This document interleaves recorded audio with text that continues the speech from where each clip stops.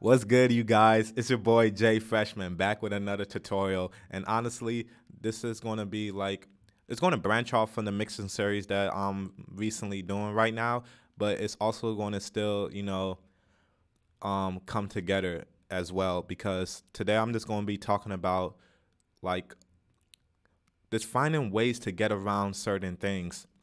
And what I mean by that is like, what I really mean by that is like, instead of like let's say you don't have a good ear quote unquote you know people always tell you you have to have this kind of ear for music or you're just not a musician. And it really doesn't work like that. What i realized and this is going to be crazy um but i'm just going to admit it anyways. So i used to live in hollywood back in 2016 and i remember i was making a beat and a friend of mine he came to me and he like well he takes Adderall because you know he actually has the ADHD and he's like hey bro take one of this. Like it's gonna make your beats sound a lot better or whatever or enhance it or whatever. And um I was skeptical because I'm like I'm not on that pill shit G. Like I'm just if it's we- if it's not weed maybe a little Hennessy on uh, rare occasions but I don't branch out out I don't branch out to anything else so, but what I realized when I took the Adderall, at first, like I always had like this insecurity of that, man, my ears ain't that good, or because my mixes is not coming out that good. But when I was off the Adderall, I realized, dude, it was only focus because Adderall, if you don't know, for people that have ADHD, it makes them very focused. And um, people use this in school, you know. I realized growing up, like it was so hard to pay attention in school, and why was it so easy for other people? Most people was on Adderall, believe it or not. And I'm not just trying to make it downplay anybody that wasn't, and they was just really truly smart, but a lot of people was definitely on it, and you know, not I'm not trying to influence you guys. I'm not telling you guys take Adderall. I'm just letting you guys know my story in the background because what I'm about to explain in this video is all going to come together and make sense. So when I took that Adderall, I realized it really wasn't my ears. I was just not as focused. Like I thought when I'm making a beat, I'm relaxed and you know that I'm drilled in because you know I'm working on a beat that I'm focused. That doesn't necessarily mean you're very focused. You feel me? So, you know, just taking that made me realize like, God, like the mind could achieve a level of focus that I never thought, you know, never thought that I won't say I never thought that it didn't exist, but I definitely didn't know that my focus could um get to that point. So I don't take that shit. So don't like I said, I'm not influencing anybody. I don't take that shit anymore because what I realized, you know, this after I took that, it's like, man, I remember just throughout that week, I kept asking him like, "Hey, bro, let me take another one." you know, shit kind of got addicting fast, and it does get addicting fast, and there's a lot of side effects to it. And on top of that, like I said, I don't want to be vulnerable when it comes to music. I don't want to have to feel like I have to drink to make the perfect hit, or smoke to make the perfect hit, or you know, take Adderall to make a, the best sounding mix. So I already I, I cut that out, so I don't take that shit no more. So it's coming back to what I'm saying now. As much as you think, oh, you're just not hearing the mix, I would say you're just not focused. You know, and what I mean, you're just not focused. Is like when it let's let's say when it comes to frequencies, and you're trying to hear a certain frequency, but you just can't pinpoint it. So part of it is that you probably can't hear if you haven't trained your ears. But for most people that have listened to a lot of music, you should be able to kind of distinguish what a high frequency is, what a low tone is, and what a mid frequency is. Like, I'm not assuming, like, come on, you if you know what an 808 is, then you know that it's a low tone. If you know what hi hats are, then you know that's a high pitched tone, and you know what to look for when you're looking at like a EQ. Let me just bring up an EQ, so you would know um, I just wanted to bring up an empty one, but either way, you know that's in the highs and you know your low tones right here.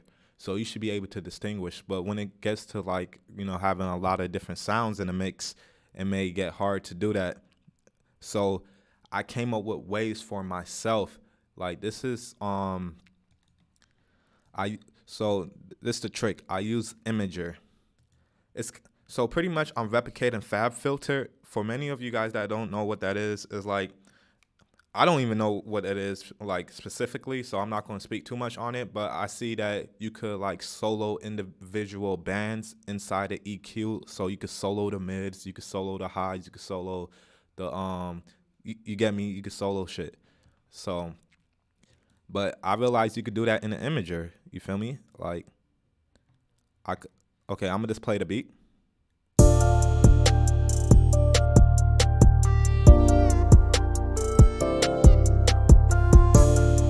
So I'm going to solo the mids.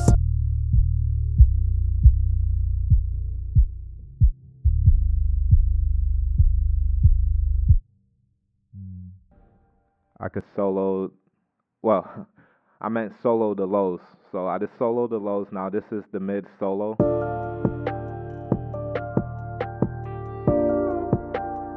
High mids.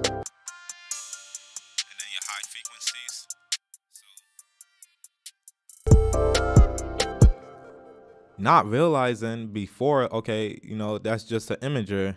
But now you got to start thinking outside the box.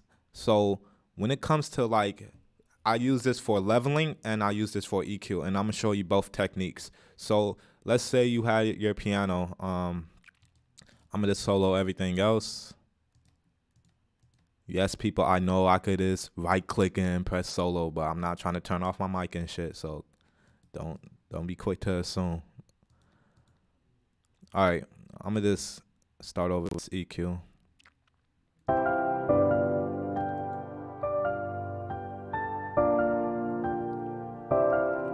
All right, this is one of my favorite melodies, so I, just wanted to play out a little, especially right here.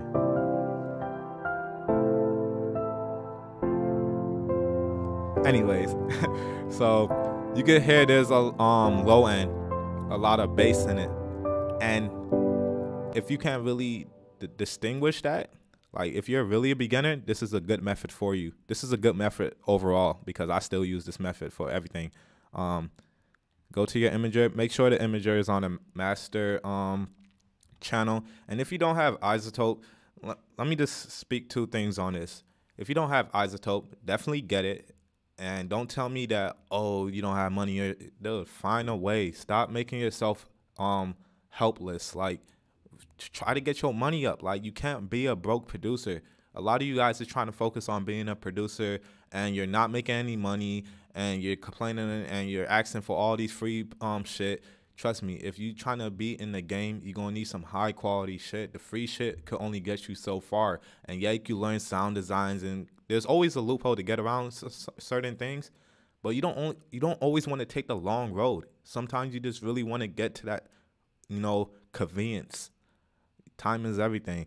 So you don't want to be wasting time trying to get um figure out sound design and then blah blah blah. Especially if that's not the route you're trying to go. So get iZotope. Um second, there's a way where you could solo the bands with Patcher, um, Fruity Patcher. You should be able to emulate um the iZotope plugin just like how I'm pretty much emulating the um FabFilter. um, and I'll probably like watch a couple um videos and try to learn how to do that with the patcher and then make a video for you guys on that. But for now, we're gonna use Imager and I'm solo the bands.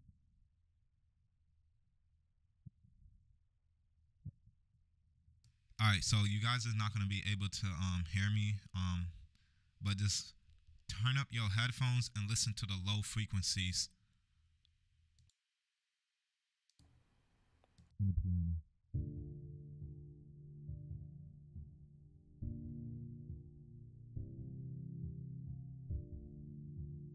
Alright, so if you guys watch my other video, when I told you, um, you see how the bass was just moving up so much? That means the bass has a lot of stereo and that could clutter up your mix. So you definitely want to put your bass in mono first. Then next, this is how you could get a perfect EQ cut of your low end. So now what I'm gonna do is um, I'm gonna solo the low end, and then I'm gonna cut out all the um bass. And this is how you know you're really cutting out the bass and not just guessing with your ears. Like I said, your ears can trick you sometimes. Even this boost I made, you can even hear it. Just, just to show you guys.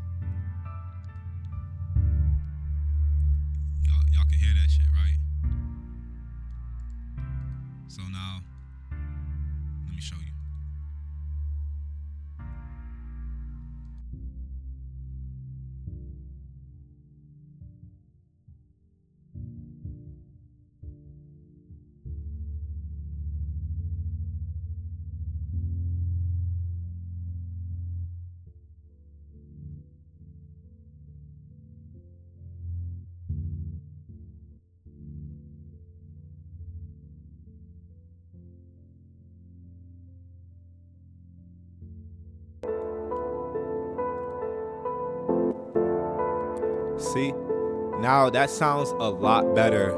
Um, and now I can see and hear that I cut out the bass. Like I really cut out the bass, not just you know put it over here because I see the fundamental frequency starts over here, so I'm cutting out some of it. No, I cut out to the point where you know there's not um really any bass, and the way I did it, I just showed you that when you solo the band, now you could understand like really where to cut is pretty much what I'm trying to get. Now, and you could just do that with everything else. Like if you're trying to get your um if you have a lot of highs, let me see if there's a lot of highs in this guitar.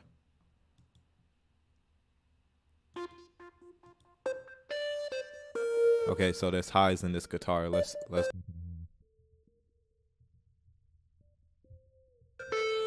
See, and there's also bass in that guitar that you probably wouldn't heard if you um didn't solo the band.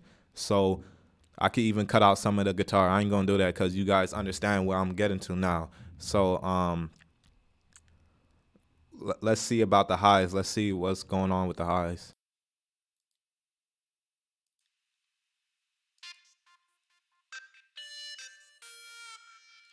Now I could find the shit that's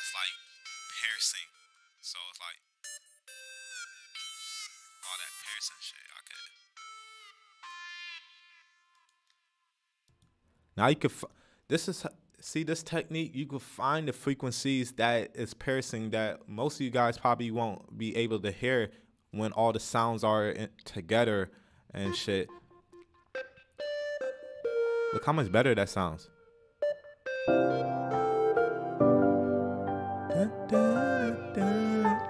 I'm sorry, this is just my, one of my favorite melodies. So, pretty much that's the EQ part. And just keep in mind, too, at the same time, you don't want to cut so much. You know, it's just, this is just an easy way to find the frequency that you're looking for, is, is how I would put it. If you have FabFilter, then great. You know, a lot of people don't have that. I, I don't even have that shit. So, not that I even want it because now that I know I could just do it with iZotope, and even though I spoke about um, convenience and doing things a bit faster, this, doing this route with iZotope is not slowing down the process because I'm still posted. I'm still using iZotope either way. So, but let's show you how to level with this. Now you could level. The crazy thing is, so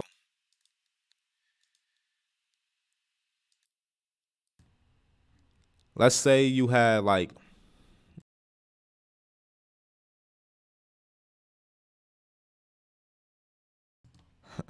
end up cutting off my mic. Let's say you have your highs and you just don't know what's clashing. Like, let's just play the highs. Hold on, have that timer go off and shit. I don't be trying to make my videos too long, but this video, I just really went to just do this because this is a tip that is very helpful.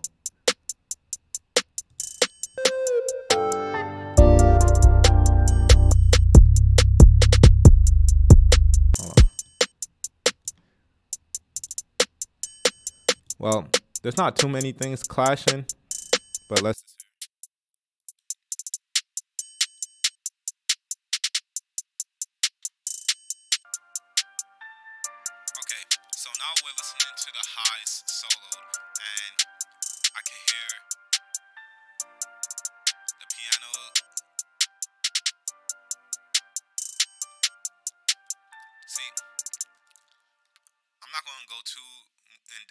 This. I'll probably save the volume for a whole nother video because, like I said, I don't be trying to make these videos too long.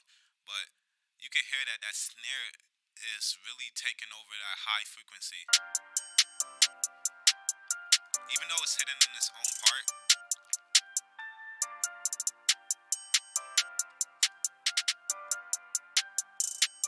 See, that sounds a lot better when I cut it back.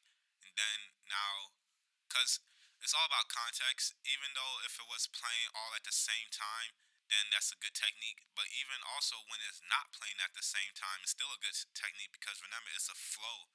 You know, the snare is still like the, way I could explain this is like.